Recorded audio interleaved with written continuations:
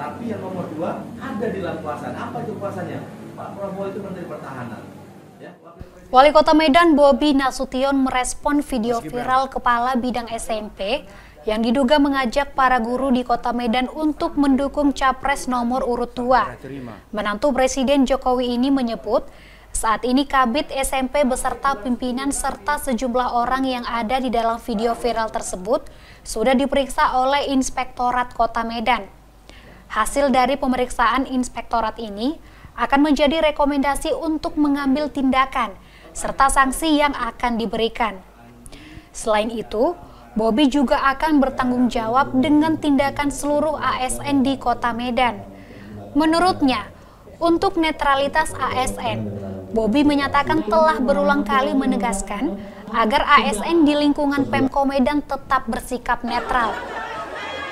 Saya, kami dari pemerintah Kota Medan sepakat untuk uh, ke paslon netral, kita ke paslon netral, ASN netral, dan kita sudah sampaikan. Dan selebihnya saya sampaikan kalau ada hal-hal seperti itu ini menjadi tanggung jawab pimpinannya.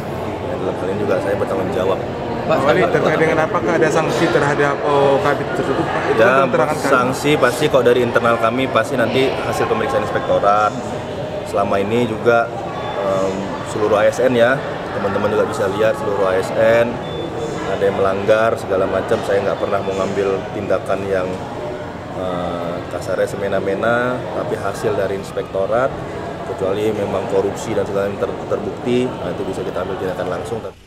Sementara itu pasca peristiwa ini, Kadis Pendidikan Kota Medan Beni Siregar mengatakan, video viral tersebut bukan merupakan video yang disiapkan.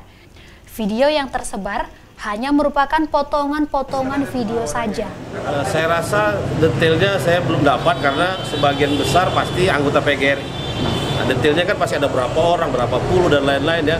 Karena itu acaranya sebenarnya bukan khusus itu hanya acara tadi rekrutmen untuk ke depan 2024 uh, tadi cuma dalam dialog mungkin uh, ada yang berbicara seperti itu. Artinya Pak itu selesai selesai kegiatan atau gimana Pak ngomong-ngomong itu? Saya bilang saya detailnya sampai uh, detik per detik, jam per jam mungkin uh, nanti dari Bawaslu kami, Bawaslu atau dari inspektor kami.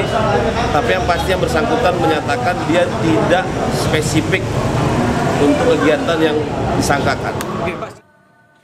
Beni juga memastikan para peserta rapat ini merupakan anggota PGRI dan saat ini telah diperiksa oleh pihak Badan Pengawas Pemilu. Tim Liputan Kompas TV, Medan, Sumatera Utara.